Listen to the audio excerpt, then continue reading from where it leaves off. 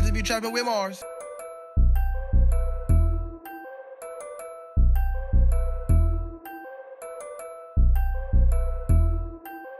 B-boy dripping that sauce.